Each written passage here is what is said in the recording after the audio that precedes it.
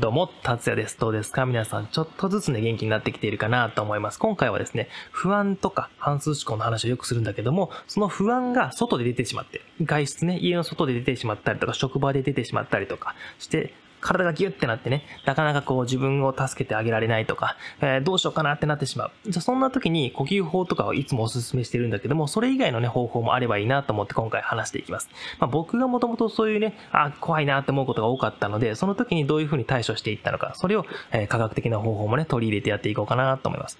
まあ、具体的にはこれ、見えるかな？ピント合うかな？パン。はい。ピントがなかなかね、最近ピッと合ってくれないんだけどね。まあ、これは、えっと、スタンフォードの先生のね、運動の本なんですけども、運動するとどういう風になるかっていう内容なんですけども、じゃあなんで今運動の話をするかっていうと、僕たちっていうのは体がね、ギュッてなってる時、怖いなって思ってる時、震えてる時とかっていうのは、ものすごく体が硬くなっている。筋肉が硬くなっていると、気持ちもギュッてね、凝り固まってしまうってこともあるんだよね。逆に、体がふわーっとね、柔らかいな、リラックスしてるなって時は頭の中もあまりストレスを感じずに、感じずに少しね、あの、リラックスできてることっていうのもあるんですよね。なので、卵が先か鶏が先かとかと同じで、体が硬い、筋肉がガチガチになっているから、ものすごく体が緊張するのかとか、え体が柔らかいからリラックスするのか、筋肉がね、柔らかいからリラックスするのかっていうこともあるんだよね。実際に。皆さんがお風呂に入ってあったかいね、例えばの話だけど、皆さんがお風呂にジャボンって入って、あったかいお風呂にね、そしたらちょっとふわーってなるよね。筋肉も少し緩まって、で、気持ちも少し緩まると思う。逆に、ものすごく寒い時、昔の学校とかでよくあったと思うけど、プールに入る時に寒いなーって思ってガクガクしながら入る時、その時にリラックスして、していたかっていうと、絶対そんなことないと思うんだよね。まあ、絶対いいかどうかわかんないけど、あの、ガチガチガチガチってなってる時、あー寒いなって思ってる時、気持ちもきっと緊張してたんだよね。そういうふうに寒いと筋肉が固まって気持ちもあのなかなかこうゆる、ゆ、なんだろうな、リラックスできない。逆に、えっ、ー、と、筋肉が緩んでいると気持ちもリラックスするっていうこともあるから、じゃあ外でこれをね、どういうふうに使うかっていうと、外で緊張してしまったり、家の中でもそうなんだけどね、職場でも。じゃあ体をほぐしたりとか筋肉を使うっていうところに、あの、考えを移動させる。まあ、呼吸法もそうなんだけども、それを使いつつも、あの、筋肉を緩めるっていうことを使ってほしいんだよね。で、本当だったら歩いてたりとか、えっ、ー、と筋トレとかっていうのをしてほしいんだけども、なかなかそれって難しいから、一つのね、こういうふうに、グー、手があるでしょう。手をグググググってすごい力入れたりとか、どっかにグッて力入れて、それを一定時間、まあ10秒だと10秒グーッと力入れてグーッと入れて、パッて思いっきり緩める。そしたら、ふわーって筋肉が緩まる。思いっきり力を入れることで、力を緩めるっていう感覚もつかめるようになる。こんな風にどっかの体に力を入れて、それをグッと抜くっていう時に、息もふーっとゆっくり吐く。そうすると力が自然に緩まる。こういう風に自分の体にどっかに力をね、緩めるってとっても難しいことだから、どっかに力をグッと入れることで、自分の気持ちを逆に離した時に緩めるってことができるんだよね。そんな感じに、どっかに力を入れるとかっていうのをやってみてほしいと思います。これは結構、あの、真面目な話、あの、握力とかを鍛えるこのボールとかグッと握るものあるよね。そういうのでもいいし、実際にちょっと筋、この、その場でスクワットするとかでもいいんだ。もちろん懸垂とか腕立て伏せとか何でもいいんだけどね。そういう風に筋肉を使って筋肉を緩めて、その中に血流とかも送ってね。そしたら、その血流に乗って、まあリラックスできるようなホルモンとかも流れていくし、こんな感じで体が固まってないかな。不安になった時ね。ああ、不安だなと思った時に多分ね、ちょっと、あ、不安に思ってるなってちょっと気づいて、今、皆さんに毎日やってもらってるその自分を客観視するトレーニングでね、あ、今不安に思ってるな。注意が不安に取られてるなと思って体が硬そうと思ったら、ちょっと触ってみて、あ、硬いなと思ったら、そのまま少しこれじゃあ緩めようと思って。じゃあ緩めるにはどうするかって。力入れたりとか少し運動する。こういうね、肩回しのトレーニングとかもやってもらってるように、少し緩めてみる。力を使って。っていうのをね、ちょっとずつでいいので試してみてほしいと思います。はい。こんな感じで、あの、自分をね、ちょっとずつね、その、場合が多いから、いろんなとこにね、ここで使えるもの、ここで使えないものとかいろいろあるから、それをちょこちょこちょこちょこ、あの、使えるものっていうのを作っていって、で、力の入れ方とかも、あの、ノートにいろいろ書いてメモして、あの、何でもいいんだけどね、その、ノートでもいいし、スマホでもいいし、そこにメモしておいて、自分はこういう時にこういうことをするとリラックスできる。こういう時にこういうことをすると体がほぐせるとか、そういうのをね、ちょこちょこ試していって、で、それを、あの、自分を元気にしてあげられる方法というか、自分を助けてあげられる方法として、たくさん残しておいてほしいんだよね。そうすると、あ、これ効かなかったなと思った時に、やっぱ怖いじゃないあの、なんだろう。こういう方法が効くよとか結構言われたりすると思うんだけど、それを試してみて、でも、実際使ってみるとそうじゃなかった。そうなった時に、あ、もうダメかもしれないって思っちゃうから、じゃなくて、たくさんちょっとずつでいいから、あの、自分を助けてあげられる方法っていうのを、あの、蓄えておいて。そしてこれ使って、ああちょっと効かなかったな。じゃあこれも使ってみて。うーん、いまいちだな。じゃあこれかなとか。ちょっと楽になったけど、まあ、でももう一つなんか欲しいかなとかね。そういうふうにこう、いい感じにね、使い分けていって、自分の問題解決っていうのをね、やってみてほしいかなと思います。はい。ってな感じで、知識だけの方はね、この辺で一旦おしまいかなと思います。で、皆さん、ねあの、実際に呼吸トレーニングとか、そういう注意をね、どこに向け、向けるのか、ずれているのか、不安に飲み込まれてないのかとか、今半数思考になっているなとか、今そのパニックになっているなとか、そういうのをね、気づけるためのトレーニングとして、あの、ツールとしてね、あの、瞑想っていうものを使ってます。まあ、瞑想っていうと、ものすごくなんか気持ち悪い感じしちゃうんですけど、あの、宗教的な話ではなく、あの、なんだろう、こういう、見えるかな？なかなかね、最近なんかピントが合ってくれないんだよね。まあこれ頭を空っぽにするレッスンとか、こういうものだとか、えー、こういうフォーカス。これ UCLA のあの、脳神経科学の人が書いた本だとか、えー、はたまたさっき登場したこれ、スタンフォードの先生のこの本、運動の本とか、こういうところ、うん、これもそうだよね。脳を鍛えるには運動しかないとか、こういうところでもうそういう呼吸とか、あの、に注意を向けたりするとかっていうのはものすごくいいよっていうことが分かっているので、ちょっとずつね、始めてみてほしいと思います。で、話はブレるんだけど、ちょっとブレるんだけど、あの、僕がその、よく宗教的なこと、うんぬんの話をします。で、これはなんでかっていうと、別にそれはいい悪いじゃないんですよ。あの、早い話が。なんだろうな。この、うんとね、宗教的なことが好きな人もいるし、嫌いな人もいるわけ。うん、で、なんだろうな。それぞれ別にどっちも僕はいいと思っている。でも、一つね、あの、こうだよっていう人に押し付けるのはやっぱ良くないから、そうそうそうそう。まあ、それぞれが信じたいものを信じてやっていけばいいかなと思います。僕は別にあんまり、なんだろう。うん。あんまり興味がないことは、の部分ではあるんだけども、それをし、なんだろうな、宗教的なことを信じて、あの自分が楽になるんだったらそれで全然いいと思います。昔から人間ってそういうものなので。なので、まあ、もうちょっと気軽にやってほしいなと思います。あまりこう、ガッて、あの、なんだろうな、必死になってやるんじゃなくて、そう、決死になってやるんじゃなくて、もうちょっと気軽にやってほしいなと思います。うん。そうそうそうそう。はい。でもね、いずれね、こういう、あの、例えばこういうね、マインドフルネスっていうこの、あの内容とか、瞑想っていう内容が出てくると必ずぶつかる部分なんですよ。で、それを一般の方っていうのはやっぱり嫌がってしまう。うん、僕も嫌だし、でも嫌だから、なんだろうな、嫌だからといって、結構実際に効果があるものなんですよ。その、頭を空っぽにするレッスンとか、あの、こういう自分の体に注意を向けるってことはもう分かってるんだよね。それこそさっき言った、こういう、あの、脳神経科学的にね、脳をスキャンして、脳の部位がどういうふうに変化してるのかとか、ストレス値がとか、あの、はたまた皮膚のね、感染っていう病気の治りが早くなったりとかする分で確認が取れているので、まあ実際に使ってみたらいいよねって。うん。で、そういうを使うのはどんな人でも使ってもいいし、ただ自分のこういうのはこうこうこうっていうね、あのー唯一絶対心みたいなの作って話しちゃうと、いろいろちょっとズレが生じたりするから、そういうのはね、自分の中に置いておいて、別に人にこうこうこうって言わなくていいよっていうお話でした。ちょっとずれちゃったね。でもたまにね、あるんで、そう。いいとか悪いとかじゃないんだよ。それは本当にその人が思ってたらそれはそれでいいし、あの、嫌だなって思ってる人は嫌だなって思ってていいんだよ。そうそうそう。ただこの、あの、マインドフルネスっていうのは、あの、ツールとして、あの、テクニックとして使うものなんで、そう、それを信じようが信じまいが実際に効果があるよっていうことが証明されているので、あまりこう気にせずに、深く考えずに、あの、筋トレとかと同じだよね。ダイエットしようと思ったから筋トレしたとか。昔筋トレも、もまた話ずれちゃうけど、昔筋トレもフィットネスっていうね、あの、カタカナがついて、あの、なんだろうな、これまた新しいなんか、そういう新興宗教が来たみたいな風に思われてたんだよ。今となってはさ、あの、プロテイン飲むとか、あの、サプリメント、ビタミン剤飲むとか、結構普通になってるけど、昔はうわ、もう気持ち悪いなって思われてた。けど、普通になってるでしょ？ヨガもそう。あの、うわーなんか怪しいの出てきたなって思ってみんなやんなかったんだけど、結局今、もうなんかホットヨガとかも出てきたりとか、ね、いろいろこう、リラックスできるってことも分かってるし、いろんな人がやってるよね。だから、そんな感じになっていくと思います。他にもティラピスとか、まあ、ストレッチとかもそうだよね。うん。まあ、あまり気にせずに、とりあえずやってみて使えたら自分が使いたいなりの、あの、テクニックとして使っていってほしいと思います。ちょっと話が長くなりましたね。では、あの、早速 やっていきましょうか。え、っと、今日も10分間だけやります。はい。あまり無理せずに、あの、続けることが大事なので、はい。ちょっとね、カメラの価格、画角をちょっと下に落として、ちょっと差があります。はい。ちょっと音声がね、変わっちゃうかもしれないけど、ごめんなさいね。はい。ということで、10分間やっていきますね。あの、やり方はいつも説明するんだけど、皆さんその、毎回毎回初めてやるかのように、ちょっと、なんだろうな、そういう感覚でやってほしいです。毎回初めてやるような感覚でやるのが大事だったりするのって。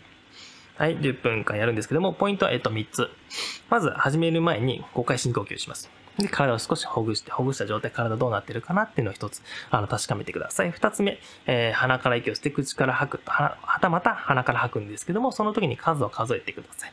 数を数える理由としては、そこに注意を向け続けるっていうこと。で、数を数えていない状態にな、なります。必ずなるんで、ずれちゃうんで、注意がね。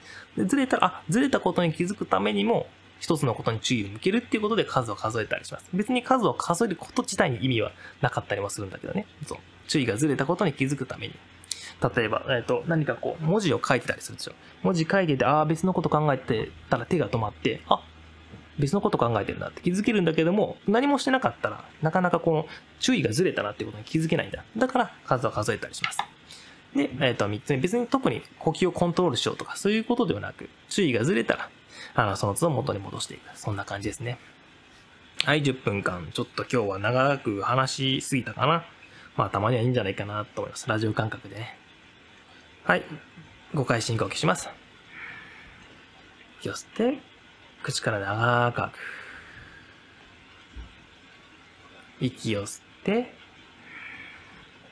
口から長く吐く。息を吸って、口から長く吐く。その時にお腹がね、膨らんだり、へこんだりする感覚に注意向けながら。息を吸って、鼻から吸って長く吐く。息を吸って、口から長く吐く。息を吸って、口から長く吐く。はい、それでは10分間やっていきましょう。なるべく猫背にならずに少しね、胸を張った感覚でやってみてください。ポイントは僕があの伝えるので、なんとなく始めてみてください。目を閉じて、呼吸して、呼吸の数を数える。で、1から数えて10まで。吸って1、吐いて2、吸って3、吐いて4を繰り返して10まで数える。そしたらまた次、1から数えていってください。これを繰り返していって、この数を数えることから注意がずれた。呼吸にから注意がずれたらずれたことに気づいてまた戻す。戻して、また数を数える。ずれたら戻す。この時に、あ、自分ってダメだなって評価するんじゃなくて、ずれたことに気づいて戻す。これね、ポイントはこれ。うん、やってみましょう。はい。いきます。鼻から息を吸って、口から吐いて、はたまた鼻から吐く。その時に数を数えます。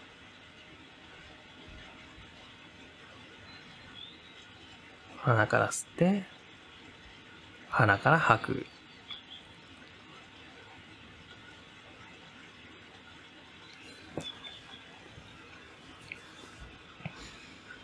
鼻から吸って、鼻から吐く。はたまた口から吐きます。呼吸を無理にコントロールすることなく、自然なタイミングで呼吸をしてください。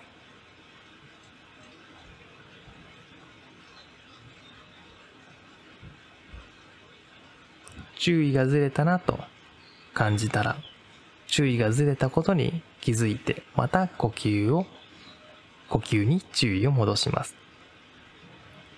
完璧を求めずに少しずつ始めてみてください。吸って吐いてを続けてください。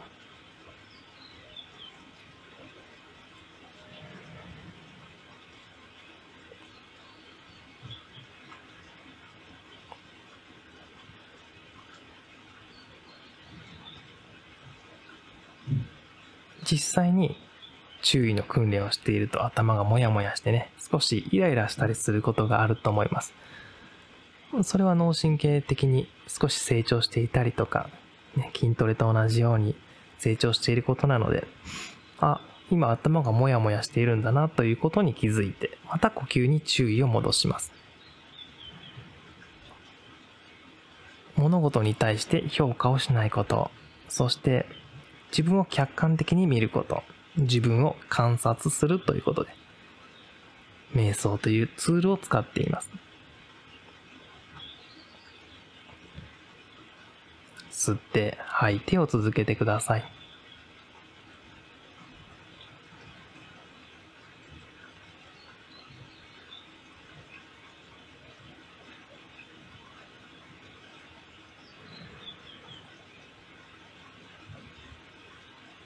息を吸うたびにお腹が膨らんで、息を吐くたびにお腹がへこんで、そういった感覚にも少し注意を向けてみてください。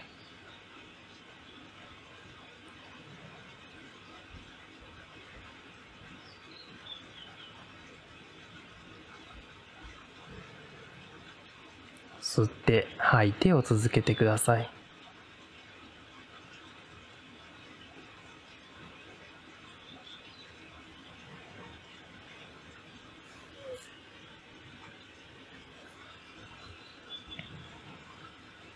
嫌なことを思い出して辛くなったら少し目を開けて少し休憩をしてその時にもあ嫌なことを思い出したなということに気づいてまた呼吸に注意を向けてみてください。それでも少しドキドキするなという場合は少し休憩しましょ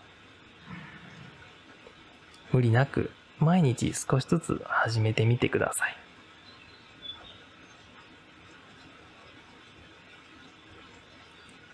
吸って吐いてを続けてください。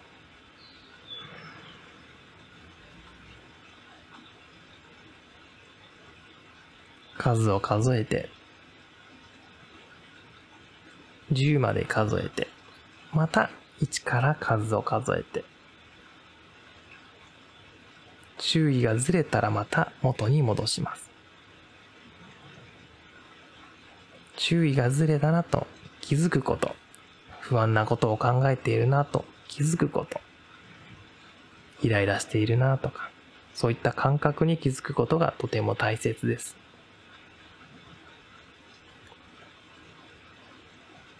ただ、それらを評価することなく、また呼吸に注意を戻します。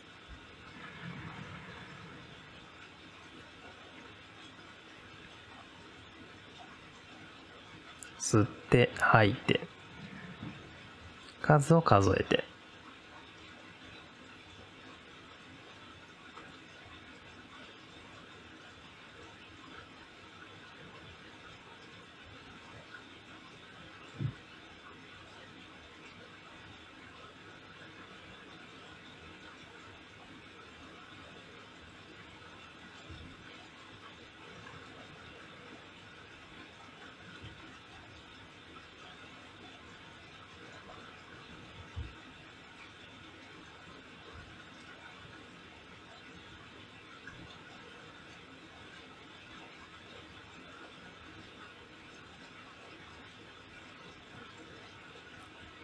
毎日少しずつ始めて、ちょっとずつ皆さんで元気になっていきましょう。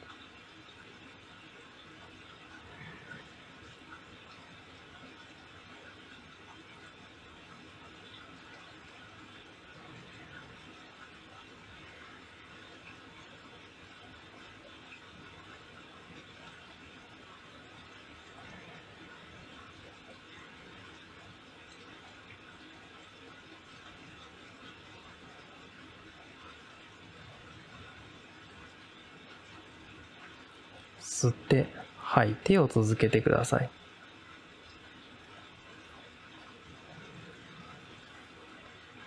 残り3分ほどです。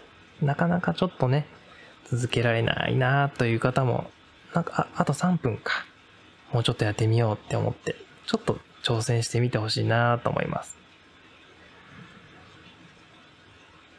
息を吸って、息を吐いて、数を数えるのが辛いなという方は、お腹が膨らんだり、へこんだりすることに注意を向け続けてください。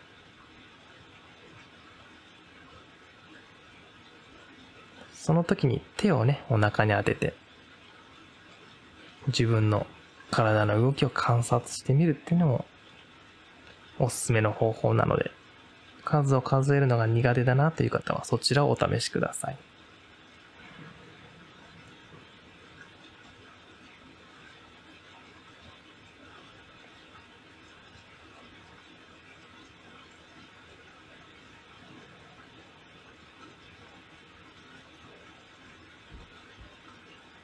吸って吐いてを続けてください。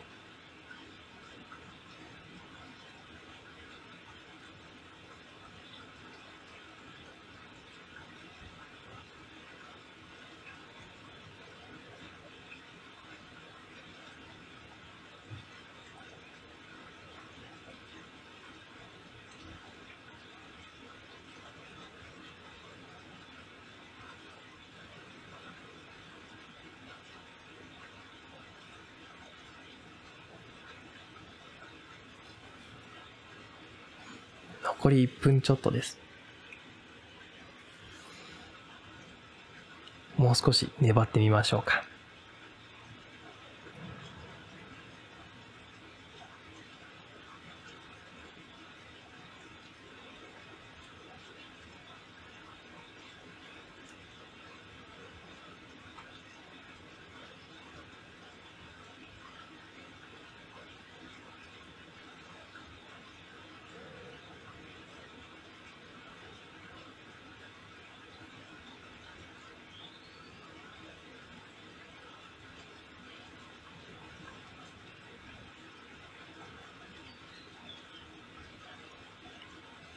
吸って吐いてを続けてみてください。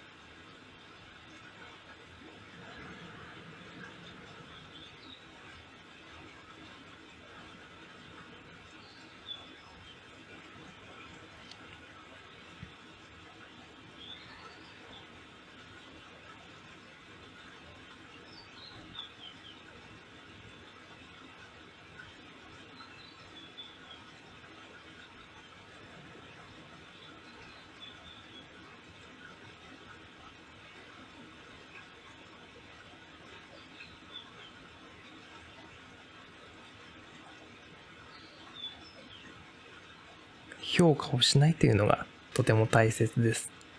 気づいて、距離を置いて、また呼吸に注意を戻す。恐怖に飲み込まれないように、自分の頭のストーリーに飲み込まれないように、客観視して、客観視するために観察を行います。はい。10分間終わりました。20秒ほどね、ぼーっとしてみてください。結構この、あの、20秒ぼーっとするっていうのが大事だったりもするので。はい。結構ね、その緩まったと思います。今ちょっと、ね、ノートを探してたんですけど、もうちょっと、ほまあ、いつもはね、大きなノートを出してるんですけども、人によってはね、やっぱ大きいノート使いづらいなって方は、これぐらいの小さいノートでもいいので、自分が今日やったことをあの、紙に書いて、残していってくださいね。そしたら自分の成長と、えっ、と、自分の、なんだろうな、自分が普段ね、たくさん悩んでることとかっていうのもね、逆に見つかってくると思います。結構同じことで悩んでたりするので、それはそれでまた別に問題として解決するっていう方法もあるので、ちょっとずつね、やってみてほしいなと思います。はい。今日はね、あなたのノートの書き方っていうのは、あの、レクチャーないですけども、またね、ノートもいっぱい使い方めちゃくちゃあるんで、それもね、紹介できたらなと思います。ではまた明日の朝かな、お会いしましょう。なんかこういうの気になるなって方は別にコメントをいただいてもいいです。で、もしかしたらコメント欄もしかしたらその、閉じてしまって、みんなに見えないようにして、あえて、あの、皆さんがコメントしやすくとかっていうのもやるかもしれません。それもね、あの、ちょっとずつ調整してやっていきます。その他にもそういった、まあ、コミュニティみたいなものも作ったりしていこうと思っているので、ちょっとずつね、楽しんでいってほしいと思います。そんな感じでまた明日の朝お会いしましょう。またね、ちょっとずつ良くなると思います。続けてね。